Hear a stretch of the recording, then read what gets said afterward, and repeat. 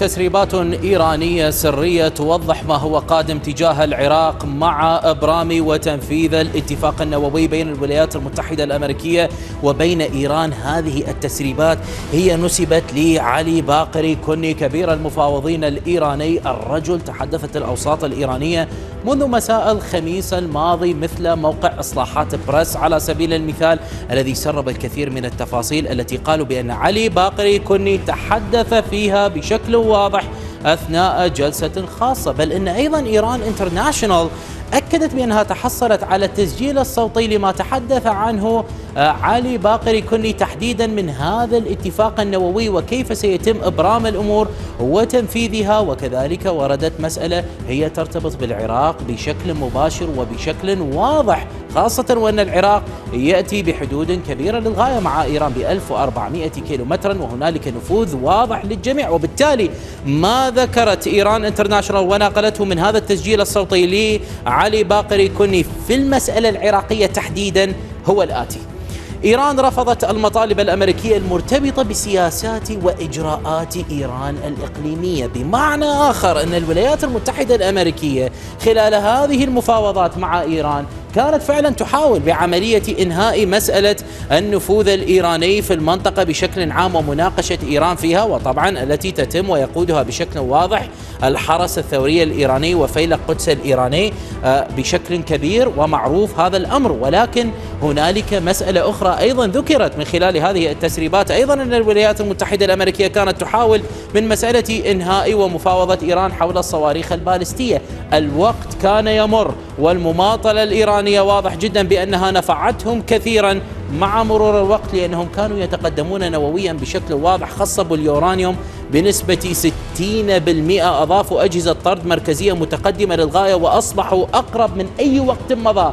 للوصول إلى القدرة للوصول إلى القنبلة النووية بل إن إيران بدأت تتحدث بأن لديها القدرة للوصول إلى القنبلة النووية. المسألة مسألة قرار بالنسبة إليها. ويجب أن ننتبه أن الرئيس الأمريكي جو بايدن أساسا إحدى أهم وعوده آه، الانتخابية التي وضعها في السياسات الخارجية هي العودة للاتفاقية النووية ومنع إيران من الوصول للقنبلة النووية. هذا هو أهم شيء بالنسبة للرئيس الأمريكي وخاصة أنه أصبح واضحا بالنسبة إليه بأنه أصبح قريبا من انتخابات الكونغرس الأمريكي في نوفمبر القادم.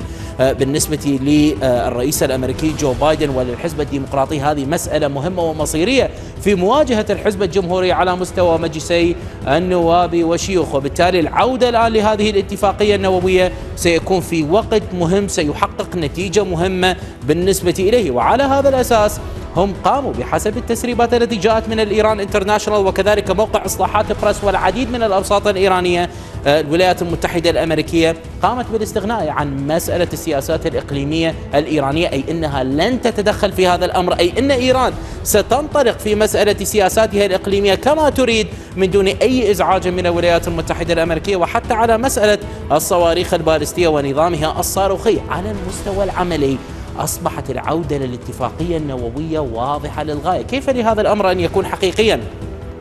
فإن بالنسبة للعملة الإيرانية الآن الريال الإيراني بحسب أيضا مصادر اقتصادية قادمة لإيران انترناشونال أكدت في سوق طهران للتحويلات حاليا في داخل إيران.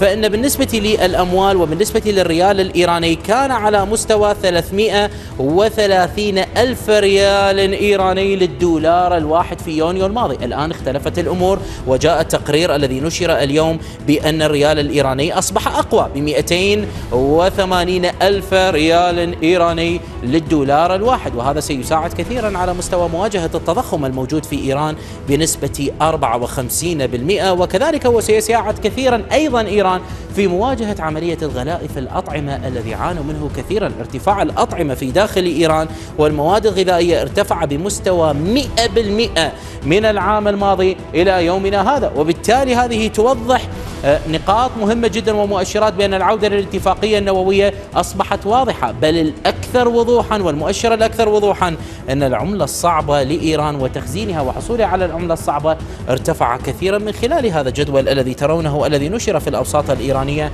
بشكل واضح. كما نلاحظ هنا كانت إيران تمتلك 122 أكثر من 122 مليار دولار. في عام 2018 الرئيس الأمريكي دونالد ترامب انسحب في هذه السنة كما نعلم. ولاحظ الانخفاض الكبير وصلوا إلى 14 مليار دولار بل إلى 12 مليار دولار في عام 2020 مع فوز الرئيس الأمريكي الحالي جو بايدن في الانتخابات على الرئيس الأمريكي السابق دونالد ترامب. بدأوا ارتفعوا طبعا إلى 21 مليار دولار والآن أصبحوا يمتلكون اليوم أكثر من 41 مليار دولار. مؤشرات واضحة جدا عملية بأن العودة للاتفاقية النووية أصبحت حقيقية. المسألة مسألة وقت وهنالك تاريخ سنراه. كما هو واضح قد تكون الأسبوعين القادمة مهمة جدا بالنسبة لهذه المسألة على قضية العودة للاتفاقية النووية. كذلك ما هو مرتبط وما هو مهم بالنسبة للعراق؟ بأن الحرس الثوري الإيراني الآن بتفاصيل قادمة من مسؤول أمريكي صرح إلى السي أن الأمريكية مؤخرا بأن إيران تنازلت عن مسألة رفع الحرس الثوري الإيراني من قوائم الإرهاب وهذا ما قاله. إيران في ردها على مسودة الاتفاق النووي المقترحة. من قبل الاتحاد الأوروبي لم تطالب برفع الحرس الثوري الإيراني من قائمة وزارة الخارجية الأمريكية للمنظمات الإرهابية الأجنبية حتى أن رجلا مهما وهو سعيد ماراندي هو مستشار الوفد الإيراني المفاوض في هذه المفاوضات النووية. أكد أن الحرس الثوري الإيراني أساسا لم يكن شرطا في هذه الاتفاقية النووية أي شرطا معرقلا. أنه أما أن ترفعوا الحرس الحرس الثوري الإيراني من العقوبات ونعود للاتفاق النووي أو لا نعود من الاتفاق النووي. بمعنى آخر أن الحرس الثوري الإيراني لم تكن مسألته بحسب سعيد مراندي هي مسألة آه، محورية للعودة لهذه الاتفاقية النووية. وما الذي يعني هذا؟ هو يعني بأن الآن إيران تمتلك الكثير مع العودة للاتفاقية النووية أن الحرس الثوري الإيراني معاقب وليس لديه أي شروط نهائيا. يمتلك السياسات الإقليمية في عملية التغلغل كما يريد في أي دولة يريد في ظل الأموال التي سيتحصل عليها طبعا من الاتفاقية النووية بالإضافة إلى ذلك إلى أن إيران انترناشونال وكذلك موقع إصلاحات بريس الذي سرب الكثير مما كان هو قادما من كبير المفاوضين الإيراني علي باقري كني بأن واحدة من التفاصيل التي نشرت الأسبوع الماضي من الأوساط الأمريكية أصبحت واقعا الآن آه، من هذه المصادر بأن الشركات التي تتعامل مع الحرس الثوري الإيراني ولكنها ليست تابعة للحرس الثوري الإيراني يمكنك التعامل معها. يمكن للشركات العراقية أن تتعامل معها. يمكن للبنك المركزي العراقي أن يمرر الأموال منها وغيرها وهذا يفتح الباب بحسب مخاوف أمريكية أن يكون للحرس الثوري الإيراني وأن يفتح شركات وهمية تعتبر ويعتبرها ويمثلها أو يقوم بالترويج بأن هذه الشركات هي ليست تابعة له ولكنها تتعامل معه وبالتالي يحصل على الأموال بشكل مباشر. وبالتالي هنالك سيطرة كبيرة للغاية ستكون قادمة لإيران مع إبرام الاتفاقية النووية وتنفيذها القادم والمرتقب. وهذا ما جعل الأصوات الجمهورية مثل مورغان أورتيغاس التي كانت متحدثة سابقا في وزارة الخارجية الأمريكية وجدت بأن إيران ستنطلق تماما في الشرق الأوسط وستسيطر وستزيد من قوتها في ظل هذه التفاصيل التي ذكرت وقالت الآتي إدارة بايدن تريد تقديم الأموال لإيران مما سيؤدي إلى المزيد من الإرهاب في جميع أنحاء الشرق الأوسط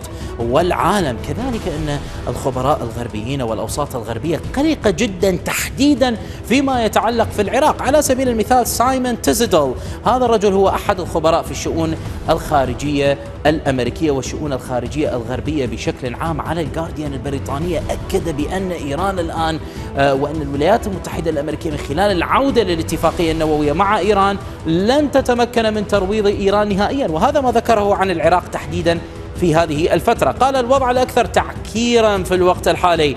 هو حالة عدم الاستقرار الهائلة التي تهز العراق والناجمة عن التنافس بين الأحزاب والفصائل المدعومة من طهران والسيد مقتدى الصدر المناهض لإيران والمناهض للولايات المتحدة. إن محاولات الوساطة الإيرانية الذاتية لم تصل إلى أي نتيجة والواضح بأنه محق للغاية حيث أن السيد مقتدى الصدر في واحدة من آخر تغريداته المهمة وضح بأنهم قدموا مقترحا للأمم المتحدة من أجل أن تكون هنالك جلسة حوار بالمناسبة مناظرة مع الفرقاء السياسيين وتكون علنية وواضحة للجميع وللشعب العراقي ولكنه أكد في نفس الوقت بأن الوسيط آه، لم يعطي جوابا يغني أو يسمن من جوع وأن هنالك ستكون خطوات قادمة للتيار الصدري في ظل عدم وجود حل نهائيا بل إن الإطار التنسيقي بشكل مفاجئ رد على هذه التغريدة ووضع السيدة حنان الفتلاوي لكي تقوم بعملية المناظرة بنفسها وبالتالي الخلافات لا زالت حاضرة في الداخل العراقي. وواضح جدا من خلال هذه التفاصيل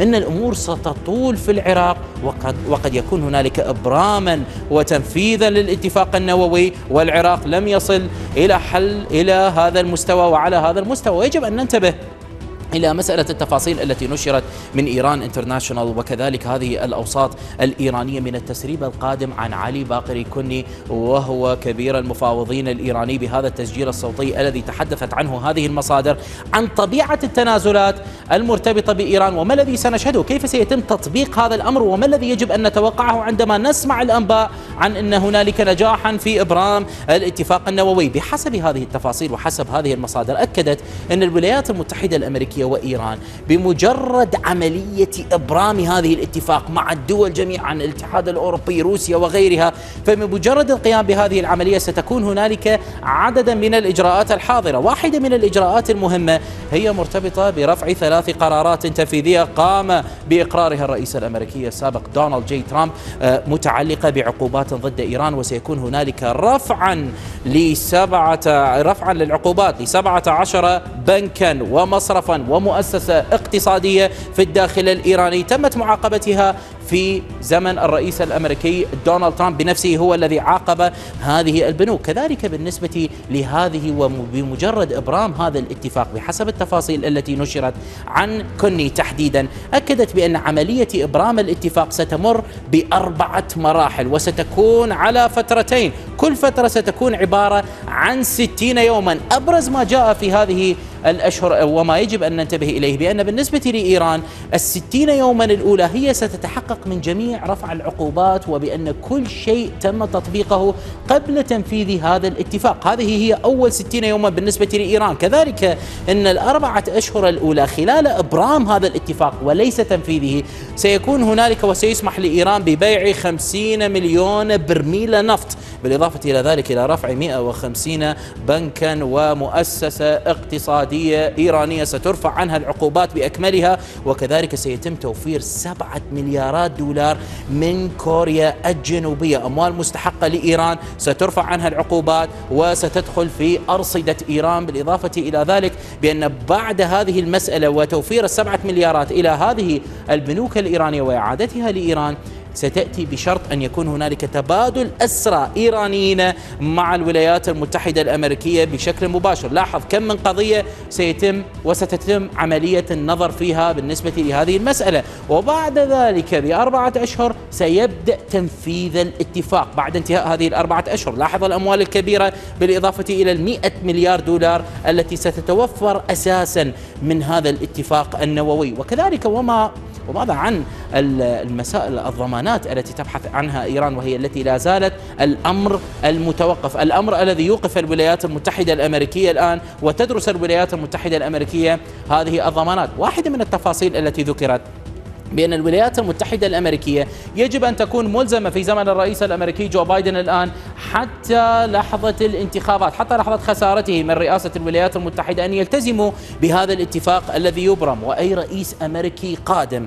فإن مثلا كان دونالد ترامب أو أي رئيس جمهوري فغير مسموح له بالانسحاب من الاتفاقية النووية كما فعل في عام 2018 قرارات أحادية غير مسموحة أبدا. من يقوم بعملية آلية ال snapback أو آلية فض النزاع كما هو مطروح في المفاوضات النووية هي بيد الوكالة الدولية للطاقة الذرية هي من تقرر هذه المسألة وليست الولايات المتحدة الأمريكية. وإذا ما قررت الولايات المتحدة الأمريكية أن تنسحب من الاتفاقية النووية فهي من حقها أن تقوم بهذا الأمر. ولكن بموجب هذا الاتفاق فإن جميع الدول الموجودة في هذه الاتفاقية يجب أن تعوض إيران عن كل الخسائر التي ممكن أن تأتي من هذه العقوبات النووية. وبالتالي نحن أمام عزل واضح للولايات المتحدة الأمريكية. إذا ما الذي كسبته الولايات المتحدة الأمريكية. الواضح حتى هذه اللحظة من تسريبات إيران انترناشونال وهذا الموقع الذي تحدثنا عنه وهو موقع إصلاحات بريس والأوساط الإيرانية. أن الولايات المتحدة ستتمكن من منع إيران من الوصول إلى القنبلة النووية.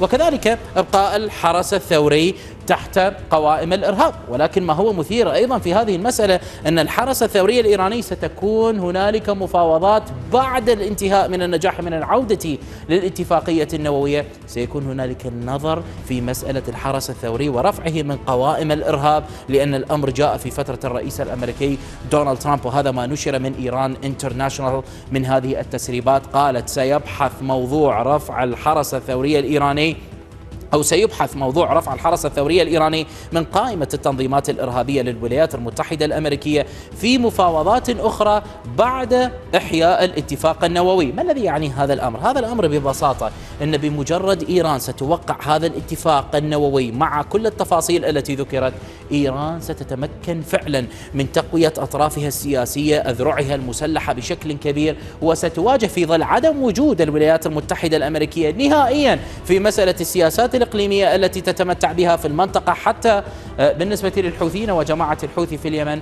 وبالتالي أي تحدي مع الإطار التنسيقي والسيد مقتدى الصدر سيكون طبعا التحدي للنفوذ الإيراني قلقا وصعبا للغاية. وبالتالي إن استمر هذا التحدي وأبرمت هذه الاتفاقية سيعني أن إيران قد تمتلك اليد العليا في ظل إن الأموال والسلاح وغيرها من هذه التفاصيل الولايات المتحدة الأمريكية لن تكون متدخلة فيها وهنا تطرح الأسئلة كيف سيواجه العراق هذه المسألة بما أنها أصبحت واقع حال بالنسبة لي طبعا الاتفاقية النووية التي نتحدث عنها وكذلك الأسئلة المهمة التي تطرح حول آه، هذه الاتفاقية النووية كيف ستترتب في الفترة القادمة.